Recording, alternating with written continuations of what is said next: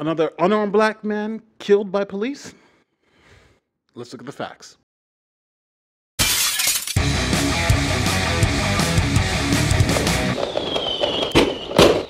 My name is Nate Broady. I'm a lawyer and former LEO. LEO stands for law enforcement officer. Today we're talking about George Floyd. Now, for those of you who don't know, George Floyd is the black man who died in a hospital after an altercation with police in Minnesota. All of my videos, I like to start with the facts. So we're going to do the same here. Police were responding to a report of a man passing a bad check. Now, the police arrived and placed the suspect under arrest. Now, I don't care what anybody's telling you on any other video. If you were a law enforcement officer in the United States, you know a couple of things. When you place handcuffs on somebody, you are now responsible for that person. That person is in your custody.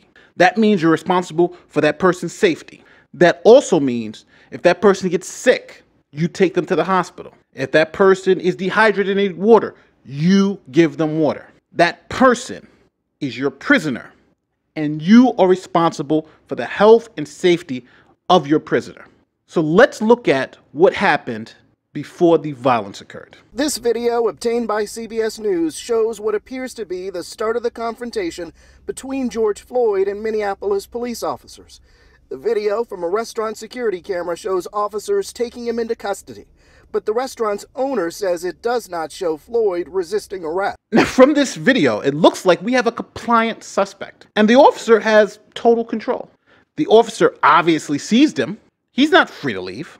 Now, placing handcuffs on a suspect does two things. Every officer is going to know this. The first thing, it protects me, the officer, from the suspect. You're handcuffed, right? The second thing it does, it protects the suspect from me.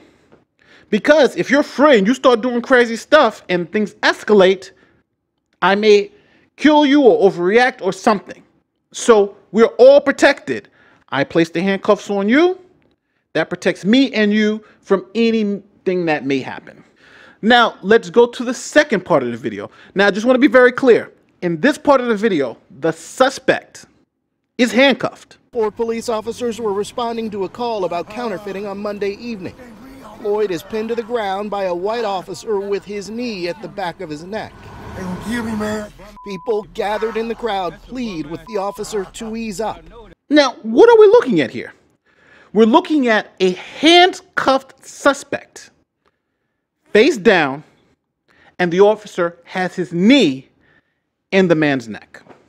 This is one of the most dangerous positions that the suspect could be in. And for every officer out there, everyone understands you don't put suspects in what we call the prone position. Let me explain it to you, like I used to explain it when I trained officers in the academy. Now, and so you guys know that I'm not just bullshitting you here. I was a certified instructor in handcuffing techniques for law enforcement officers. This is what we trained them to do. Now, sometimes when you arrest a suspect, and there's an altercation. Sometimes you have to put handcuffs on the suspect and the suspect's on the ground. Generally, the suspect will be face down and you apply the handcuffs, right? Because you're applying handcuffs to the rear. That's usually department policy. I know it, it is here in New York, but maybe for in other locations, but here, you always handcuff everybody to the back. No handcuffs to the front. Unless, you know, pregnant women or there's some like, you know, other reason why you have to, but everybody goes to the back.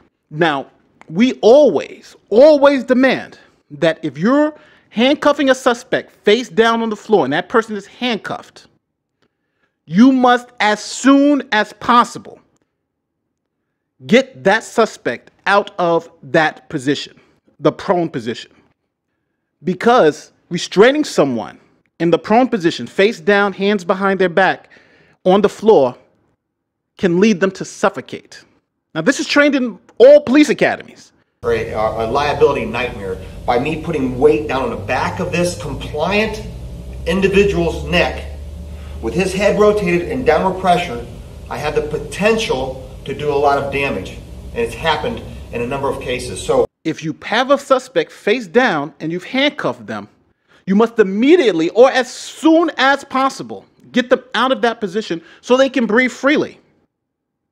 So to leave a suspect in the prone position for eight, nine, ten minutes is unthinkable. This is why you'll see after officers place handcuffs on a suspect, they're picking them up or they're turning the person over so the person is not in the prone position. So they don't suffocate.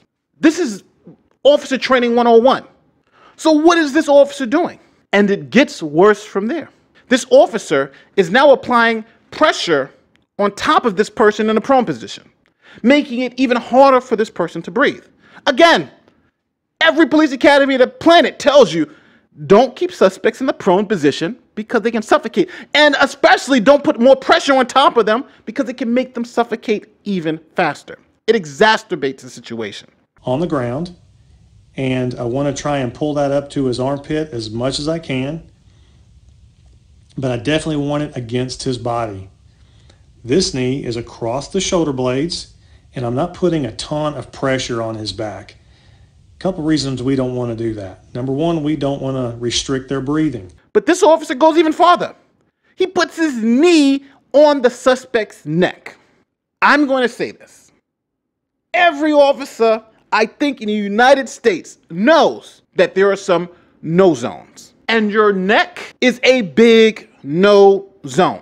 Now, every officer is going to tell you you want to avoid putting any pressure on someone's neck if possible. The neck is number one on the list of do not put pressure on any suspect's neck. And the only time you do put pressure on a suspect's neck is if that you have no other option and you believe deadly physical force is warranted. And even if you do feel that you're justified and you put pressure on a suspect's neck, you must release that hold. You must release that pressure as soon as possible, or your prisoner could be killed or injured seriously. Just imagine being placed in a chokehold for seven minutes. Most people can hold their breath for three minutes. Just imagine being put in a chokehold for seven minutes. Just to be clear, the suspect is in custody and is handcuffed. Mr. Floyd was handcuffed. My last issue with this the number of officers to the suspect.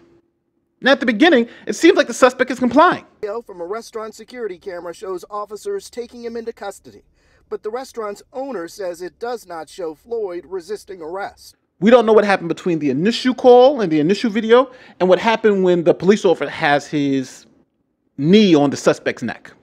But what we do know is that there were multiple officers there.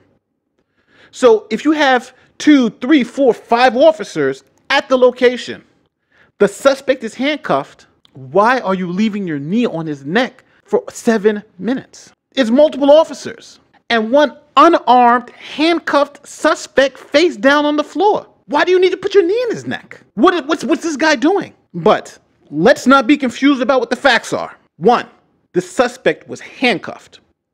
Two, the suspect was restrained. Three, the suspect was not a threat to this officer or any of the other officers there in this position. Four, there were multiple officers on the scene to restrain the suspect, even if he went a little cuckoo.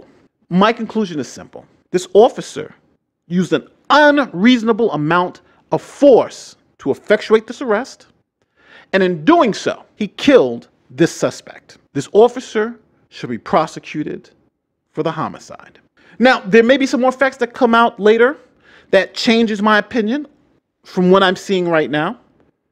And if they do, I will let you know how my opinion changed. But as of right now, there's no way anyone can say that this was justified based on what we have in front of us. Was this situation motivated by race or just bad police tactics? So, without any more information, these were 100% bad police tactics. But did it depend on whether this suspect was black or white? I just don't know. I just am concerned that it seems to happen more often than not to people of color. But in this situation, who knows? But this officer should be prosecuted for a homicide. My name is Nate, and I'm out of here. Peace.